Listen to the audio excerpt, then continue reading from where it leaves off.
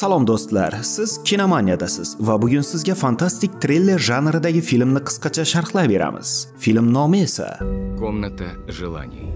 Katta shahardan zerikkan yosh juftliklar Met va Keytlar kichik shaharchadan uy sotib olishadi va o'sha yerga ko'chib o'tishadi. Met rassom, Keyt esa tarjimon bo'lib ishlardi. Ko'chib o'tishgach, uyni yaxshilab ta'mirlash kerakligini ko'rishadi va vaqtni cho'zib o'tirmasdan ishga kirishishadi. Met eski jihozlarni uydan tozalar ekan, qandaydir g'alati kalitni topib oladi, ammo uni nima qilishni bilmasdi.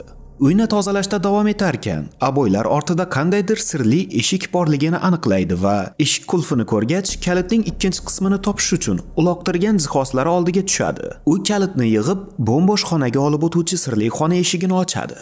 Bu haqida tezda Keytga xabar beradi va qiz u yerga endi kirmoqchi bo'lganida uydagi elektr tizimi qisqa tutashuvga uchraydi. Meyt bu muammoni hal qilish uchun elektrikka qo'ng'iroq qilishga qaror qiladi. Ertasi kuni elektrik ham keladi, ammo umri bino bo'lib, bunday tizimli kabellarni ko'rmaganligini va keyinroq yordamchi jo'natishini aytadi.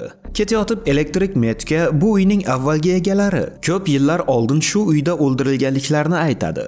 Bundan so'ng Meyt uyning avvalgi egalari haqida ma'lumot izlay boshlaydi va bu uyda avval Sheferlar oilasi yashaganligini bilib oladi. Ularning o'limida ayblanayotgan odamning shaxsi haligacha jumboq bo'lib qolgan edi. Charchagan Meyt sirli xonaga kirib u yerda dam olishga qaror qiladi. Ichkiligi tugagach yana bitta butilka bo'lsa edi deydi va kutilmaganda xonada yana bir butilka ichkilik paydo bo'ladi. Bundan so'ng u bu xona xohlagan istakni amalga oshirishi mumkinligini tushunadi. Bu paytda uyqudan uyg'onib ketgan Keyt erini izlash uchun xona tarafga yo'l oladi. Uni topgach, avvallari uylarida bo'lmagan narsalarni ko'radi. Meyt ayolga qimmatbaho suratni ko'rsatadi va bu xona xohlagan istagini amalga oshirishi mumkinligini aytadi. Keyt avvalga unga ishonmaydi, ammo baribir ham buni sinab ko'rish uchun 1000 dollar berishini so'raydi. Chiroq yonib o'chadi va u so'ragan pullar xonada paydo bo'ladi. Sodir bo'layotgan hodisadan qo'rqib ketgan Keyt xonadan chiqmoqchi bo'ladi, ammo Meyt ular bundan yaxshigina foydalanishlari mumkinligini tushuntiradi va Keyt rozi bo'ladi. Juftlik har kuni orzularni amalga oshirish bilan band bo'la boshlashadi.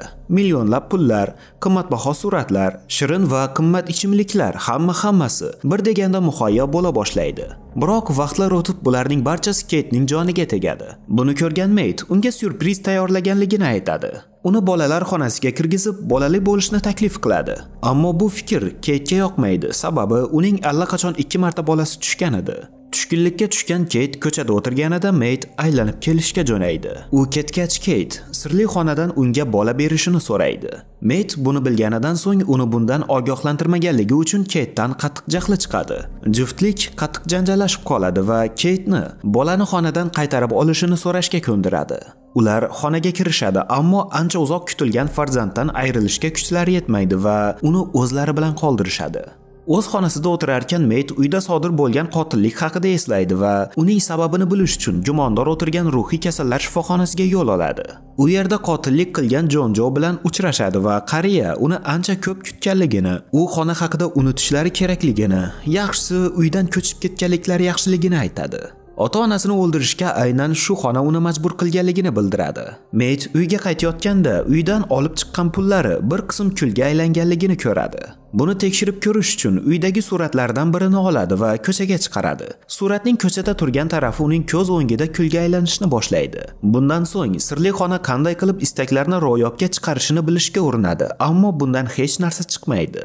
Bu vaqtda Keyt sayrga chiqmoqchi bo'ladi, ammo Met unga aniq nima bo'lishini aytmasdan unga shunchaki ko'chaga chiqmasligi kerakligini aytadi. Ammo Keyt baribir ham bolani ko'chaga olib chiqishga qaror qiladi va dahshatdan baqira boshlaydi. Met unga yordam berishga shoshiladi va chaqaloq sanoqli soniyalar ichida ancha ulg'ayib qolganligini ko'radi va Keytga xonadan so'rab olingan nimaiki narsa borki, uydan tashqariga chiqarilsa bir zumda kulga aylanishini aytadi. Ammo Keyt ularning bolasi narsa emas, odam ekanligini va unga g'am g'amxo'rlik qilishini aytadi va unga Sheyn deb nom qo'yadi. Kunlar o'tarkan Keyt uni faqat uy ichkarisida tarbiyalaydi. Bolaga esa kasalligi sababli uydan tashqariga chiqishi mumkin emasligini aytadi. Shu sababli bolakay devor ortida hayot kechira boshlaydi. Kunlarning birida Keyt eshikni yopishni esidan chiqarib qo'yadi va buni ko'rgan Sheyn tashqariga chiqishga harakat qiladi. Ammo Keyt buni vaqtida sezib qoladi va o'g'lini qutqarishga ulguradi. Keyt o'g'li tashqariga chiqa olmasligi uchun barcha oynalarni berkitishni boshlaydi. Keyingi bir necha kun mobaynida meyt sotib olgan qurolidan o'q uzishni mashq qiladi. Uyga qaytgach sheyn uning xonasida o'ynayotganligini ko'rib qoladi va uni qattiq urishib beradi. Meyt uni o'z farzandi deb bilmaganligi uchun unga sovuq muomala qilardi. Shu kuni tunda Sheyn sirli xona sirini bilib qoladi va o'zi uchun uy ichkarisida kattagina o'rmonni yaratib oladi. Bu holat Meytning jahlini chiqaradi va Sheynga qaytib bu xonaga kirmasligini buyuradi. Sodir bo'lgan vaziyat sababli er-xotinlar janjallashib qolishadi. Ularning suhbatini Joning qo'ng'irog'i bo'ladi. Jo ham istak xonasida yaratilgan bolakay ekanligini tan oladi. Ularning suhbatini Kate ikkinchi telefon orqali eshitib turardi. Jon bolakay ko'chaga chiqib yashashi mumkinligini, ammo buning uchun uni tilab olgan Kate o'lishi kerakligini aytadi. Jon uning onasi oldin uning otasini o'ldirganligini, keyin esa o'g'li ozod bo'lishi uchun undan uni o'ldirishni so'raganligini ham aytadi. Buni eshitib turgan Kate uydan ketadi va o'zini o'ldirishga harakat qiladi, biroq bunday qila olmaydi. Bu vaqtda Sheyn Metga savollar berishdan to'xtamaydi. Buning oqibatida Met uning shunchaki xonadan tilab olingan narsa ekanligini, agar uydan chiqsa, kulga aylanishini aytishga majbur bo'ladi. Kechroq Kate uyga qaytgach, er-xotinlar sevgi muhabbat bilan shug'ullanib ketishadi. Ularning bu ishini esa Sheyn kuzatib turardi. Ular uxlab qolishgach, Sheyn eshik kalitlarini oladi va ko'chaga chiqadi. Ertalab er-xotinlar eshik ochiq ekanligini ko'rishadi va xonalardan birida ancha ulg'ayib qolgan Sheynni ko'rishadi. Sheyn qurol bilan ularga tahdid qiladi. ket uni tinchlantirmoqchi bo'lganida Met unga tashlanadi. Natijada ket boshi bilan urilib, hushidan ketadi. Bir qancha vaqtdan keyin qiz o'ziga keladi va eri unga Sheynni o'ldirganligini aytadi. Bu vaqtda haqiqiy Met o'ziga keladi va xona ichida uyning aniq nusxasi yaratilganligini tushunadi.